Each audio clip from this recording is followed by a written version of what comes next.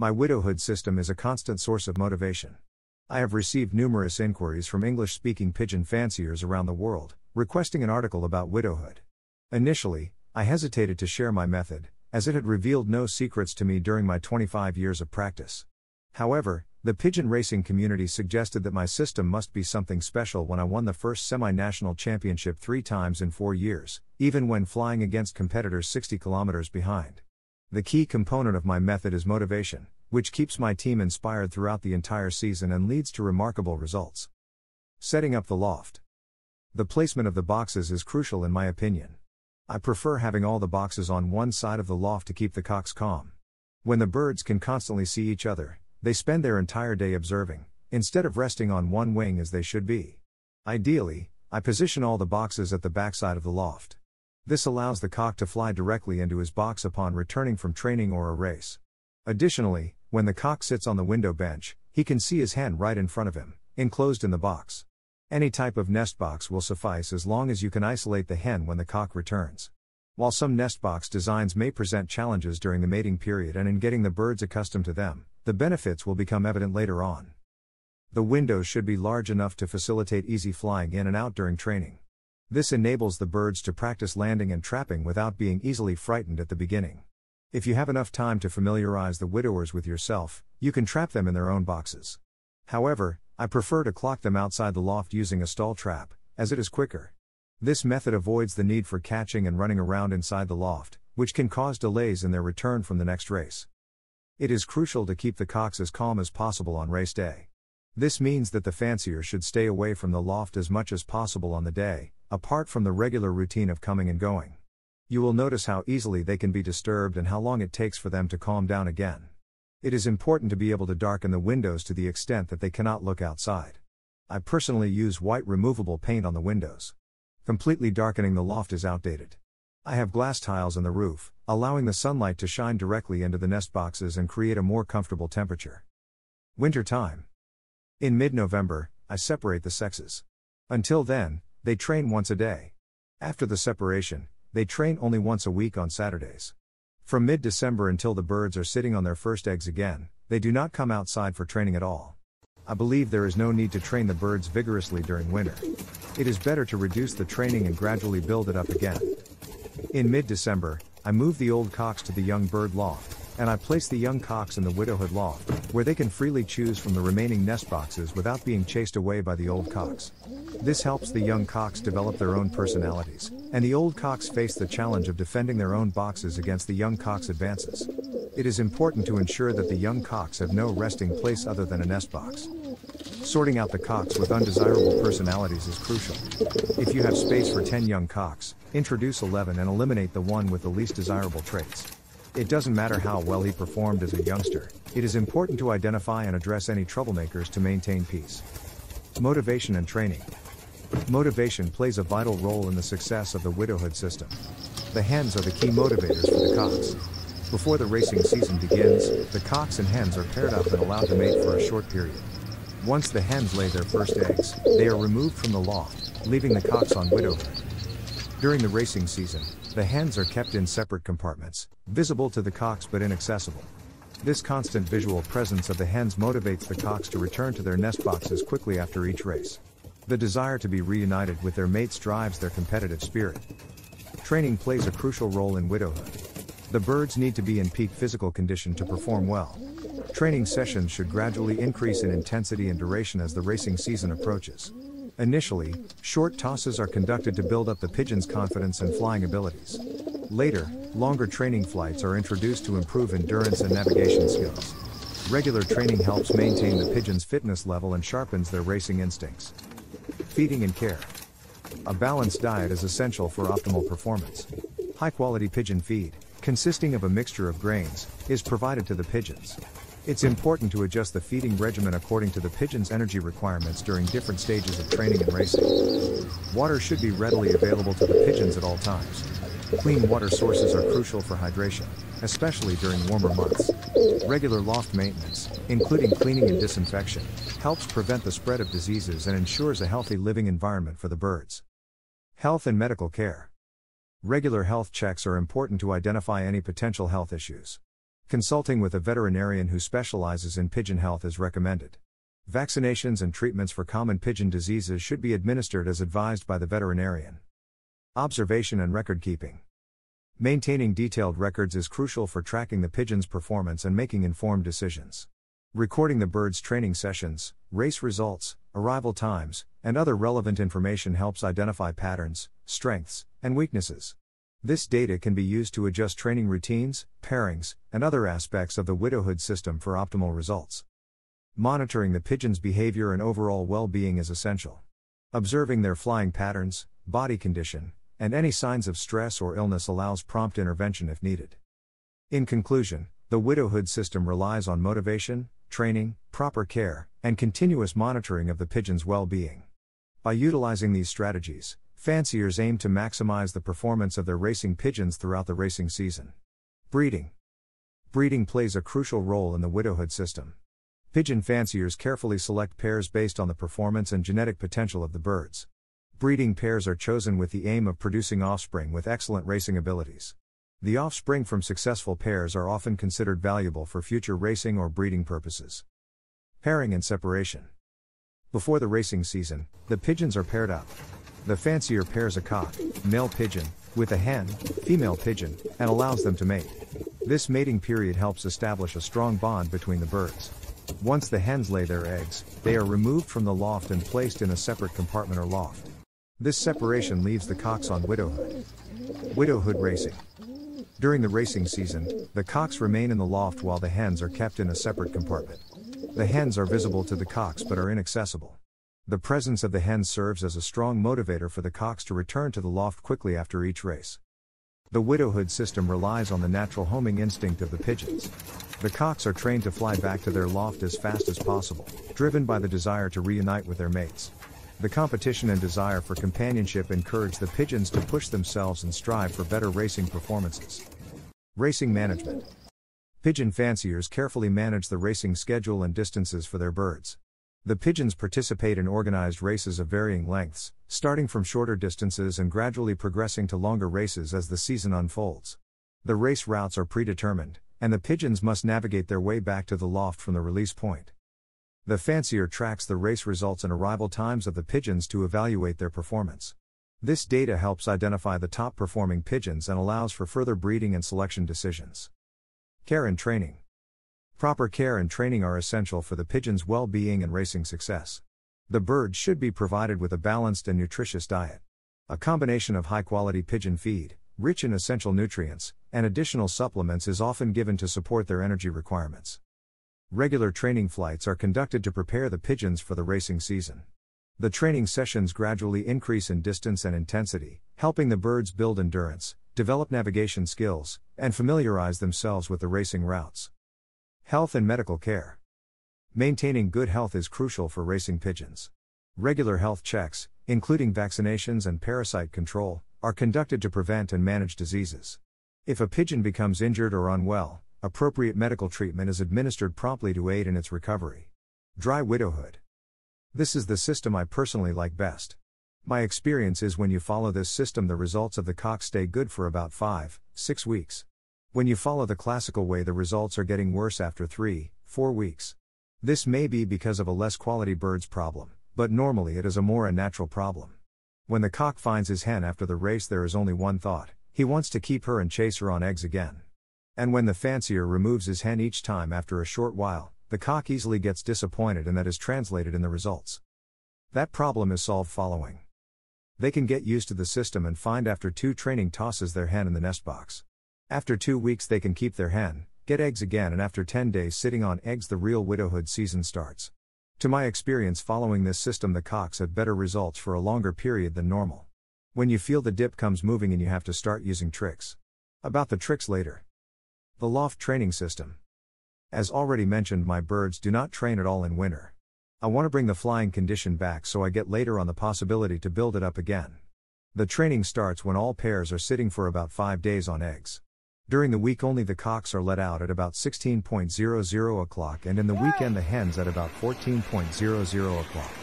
First, I have to get them instead from entering the young bird loft into the old bird loft. When this is done, the hens are let out by my wife each day at 14.00 o'clock, and I let the cocks out at 16.00 o'clock, and all are chased up in order to fly. When the youngsters are about 5, 7 days old, they are fed twice a day with some picking stone and pressed corn. From that moment on, there is only one training a day. Around 16.00 o'clock, I put hens and cocks out, and by then it should be clear for the fancier how the situation is. They should train easily for at least one full hour. When the youngsters are about 17 days old, this is getting a little bit less when they get interested to start a new nest again. When they are sitting on eggs again, both sexes are trained separately again till the point of 10 days is reached and the birds are put on the widowhood system. The first week of the widowhood, everything is done quietly in order to get no nervous cocks that stay out for a night or when trained twice a day, they don't fly the whole day and ruin their condition for a couple of weeks. The second week, there are morning trainings also, and the third week, it is getting to how it should be. They have seen the hens again and are more attached to the loft and their nest box than the first two weeks. After the third week, the morning training is easy, not forced. The cocks are let out and may enter and find themselves not free to go out again. In the evening it is different. The windows of the loft are open for one hour and they may fly free in and out again. After a full hour, they all are chased out again, and when they enter again, they to stay in and are fed. The road training schedule. When you fly the widowhood system instead of the natural system, you'll find the widowhood cocks train easily 2,5 hour a day. By these training times, I do not think it to be necessary to train my birds on the road daily. I only use the road training as a way to refresh their attitude when I see less interest in flying or fear a dip. Before the season starts, I train them 4,5 times up to 60 kilometers when the weather is okay and not too cold. It has happened I put them without any toss straight into the first 90 kilometers race and found the results satisfying enough. However, when you want to do a road training, I prefer to do it that afternoon when the barley is exchanged for the good food, so they can deal with the extra sprinting they have done. Of course, in the middle of the week, no hens are shown to the cocks ever. The curing system. Because of my work for the Medical University of Amsterdam, AMC, I'm often considered to be a man who knows all about of medicine. How wrong, however, is it to give your birds all the products advertised in the magazines? The moment there is trouble, be sure you are in trouble. You'll find only the most strong product to work, and when you work with that type regularly, when it is really needed, nothing will help your birds to get better again. Sometimes I make use of medicines, but only when it is needed or when they are because of circumstances close to a dip, and then be sure it helps.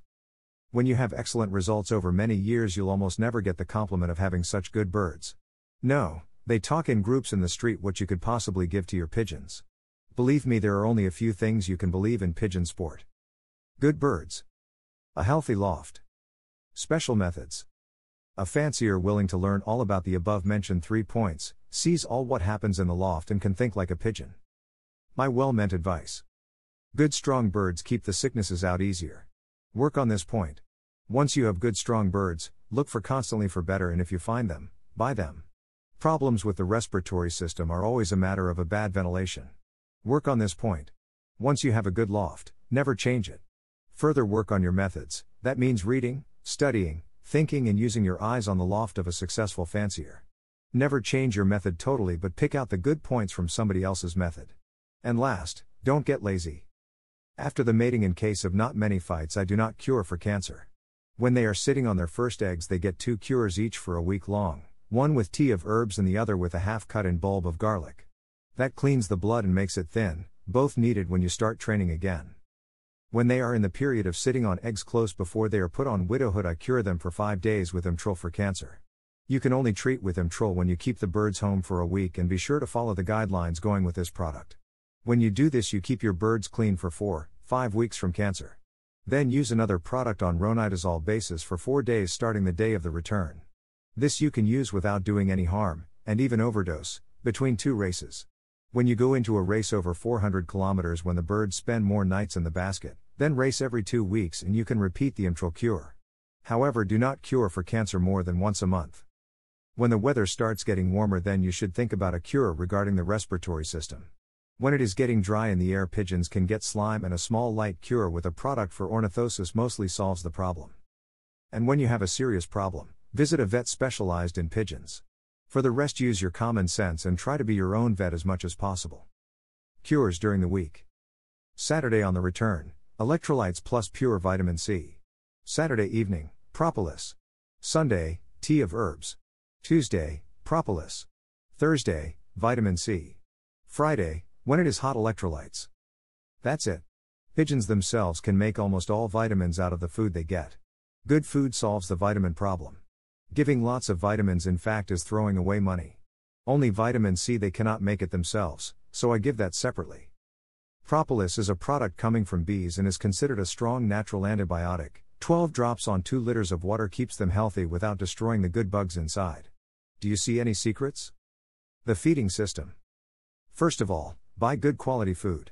Understand the best corn is always used for human consumption. So the corn used in pigeon mixture is not the very best, otherwise, prices would be too expensive for us. But where we can choose from, there is much difference in quality, and I want you to think why sometimes is a certain mixture so cheap? I give you two examples. 1. The La Plata maize comes from Argentina and is transported in a ship to our distributing firm.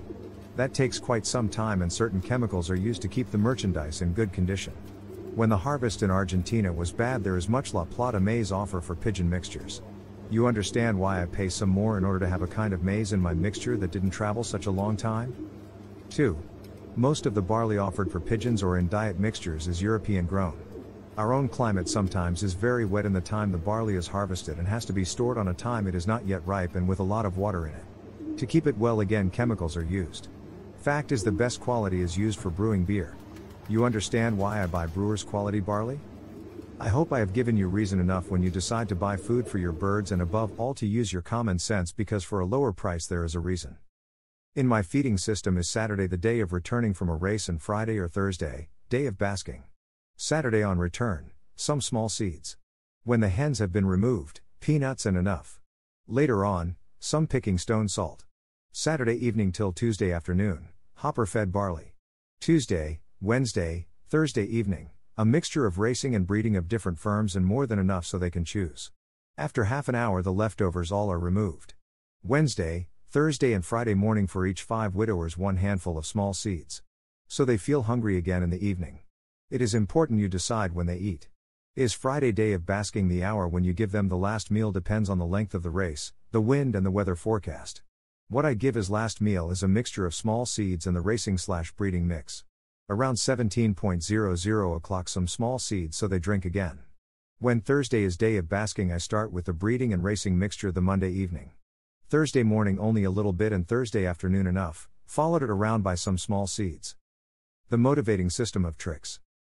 To keep your widowers going full speed from the beginning of April till the end of July is a period of 16 weeks. To do that successfully, you can understand your widowers get bored soon when you follow every week the same schedule. So you have to change your methods regularly to keep them going for the top. Some important guidelines. The training is very important, keep them going. A bigger team is best. 40 widowers enjoy the training more than 10. Don't kill the bad ones. Just don't race them, but keep them to keep the others going on the trainings.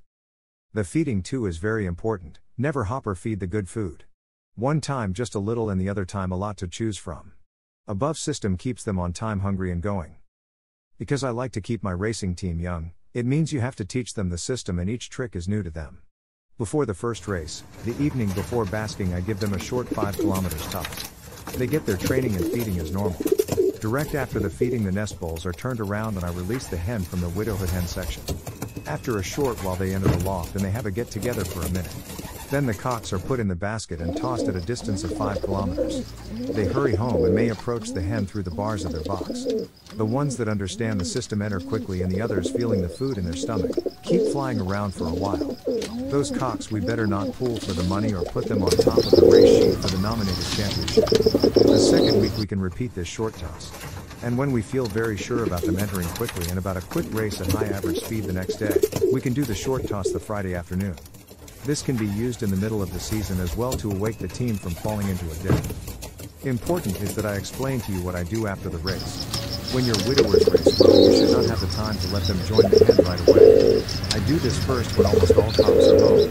When I go to the clubhouse with the clocks, I let them out altogether free on the loft. This is to give them the idea that they can chase the hen again for eggs. Important is that they get a good chance to make love to the hen. This fact too keeps them sharp because they will be watching each other. When the second race was fast and all cocks were home quickly, it is good to let all cocks and hens out together fly free around the loft. This too keeps them awake and give them the impression they may keep the hen and build a nest. I removed the hens when I returned from the club and when the beer was good that sometimes may take a while. I never have thought or felt it was too bad to leave them together for such a long time. When they understand what we want from them and what they can expect in return for it, the third, fourth and fifth race we can only turn around the nest bowl without showing the hens. The sixth race in our combine already is one of almost 400 kilometers and then you can expect the first dip, too because of the distance. Therefore you have to motivate them now for the first time. Around 17.00 o'clock you turn around the nest bowls and release the hens from the hen section. They may do what they want and stay free in the loft for about one hour. Then the cocks are basked and the hens shut up in their boxes. Another good trick is to let them out the Friday morning for their normal training around the loft. Coming in they find their nest bowl turned around and the hens join them shortly afterwards. They may stay together for an hour. Then the hens are removed and they are fed around 12.00 o'clock. 2. You can give them a bath inside the loft.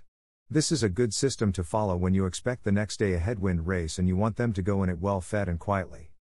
The seventh race is in our combine, a race of 475 kilometers, and that means Thursday evening basking night. That day I'm home around 13.00 o'clock and the widowers go out for an hour. Then they are called in and the nest bowls are turned around. The hens join them a short time later and they stay free in the loft for an hour and a half. After that, the hens are removed and the nest bowls turned around again. An hour later, when they are quiet again, they get only peanuts and as much as they like. You'll notice how good they will eat. Around 17.30 o'clock, they get some small seeds, so they drink again. An hour later, they are put in the basket and I'm off for the club. The above I repeat on every following day race. I believe when you fly the distance near one is the quality of the bird that can fly the distance. Up to 400 kilometers with only one night in the basket, it is the fancier with his system that has the biggest influence on the results over the 400 kilometers. It is definitely the bird. Important is therefore to have the quality birds and to bring them with the right feeding and training methods to the race. A good trick to do later on in the season is following. The Thursday afternoon, the widowers go out for a training around 13.00 o'clock, followed by their hens half an hour later. This you can understand is a big party for all of them. When all are in again, you follow the system as described above under race 7. Sometimes when I see they are getting into a dip, I give them the Monday afternoon instead of a training around the loft of 40 kilometers training toss without showing the hand. This too sharpens them up again. I have chosen for the program of races for the semi-national championship and that are for the old birds, 475 kilometers, 540 kilometers, 605 kilometers, 685 kilometers, 655 kilometers in the autumn followed by their last race over 475 kilometers sitting on a week-old youngster. The young birds fly 330 kilometers and 540 kilometers altogether 7 races with an interval of 2 weeks. After race 7 I have no races shorter than 400 kilometers. That means also that I have from time to time a free weekend to spend with my family doing other things than just pigeons. However, the free Saturday morning early I give them a toss of 60 kilometers to keep them sharp, and they may stay a short while together, which leaves the rest of the day free for doing one time other things. Taking care of the hens is very important. Understand they do not go in a race and do not spend any energy.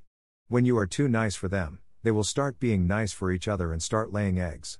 When this happens, you are in big trouble. The hen should only pay attention to the cock, and when he doesn't get that, he will not surprise you with good results. So don't be sweet for your hens and treat them hard. Do not have too much room for them, let them fight for a resting place. Sometimes after a race, shut only the cocks up in the nest box and let the hens go free around the loft. Take care that they start hating each other. Another good weapon is hunger. On race day, they get like the cock only a bit of small seeds. Separated in their own section, they get a picking stone, that's it. The next day, they get half grit, half barley. Monday, Tuesday only barley. Wednesday half barley, half young bird mixture, Thursday breeding mixture. Only once a day and in quantity and quality going up towards the end of the week. If you have time and room, you can let them out for a training around the loft so they spend energy. But in order not to disturb the cocks, I don't let them out during the week. I do hope you liked this article about widowhood and you were able to pick up some new items. I tried to make it as complete as possible so you have a total method for the whole season. If you have any questions, you may email them to me.